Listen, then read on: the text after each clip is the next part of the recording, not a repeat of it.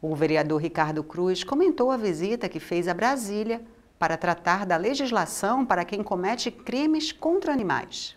Nós estamos nessa luta para tentar realmente, de fato de verdade, acabar, colocar o medo, coibir, assim como nós vemos na Lei Maria da Penha, né, que ela tem atuado para coibir é, a violência contra as mulheres.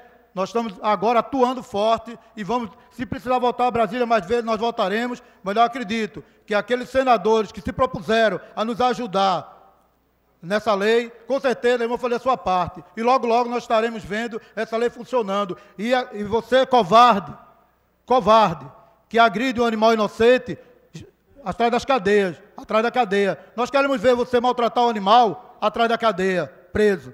Então, essa é a nossa luta, a nossa militância. Fomos eleitos para essa bandeira. Estamos aqui levantando a voz por aqueles que não têm vez, por aqueles que não têm voz. Mas aqui há um que levanta a voz por ele, e eu, eu é, convido também meus pares vereadores para, junto comigo, entrar também nessa luta. Também, no, também temos aqui o vereador Romero Albuquerque, que também milita nessa causa. Então, nós estamos juntos, unidos por essa causa e acreditamos que isso vai, vai mudar o nosso país, nós vamos ver efetivamente as coisas acontecendo e os animais serem respeitados.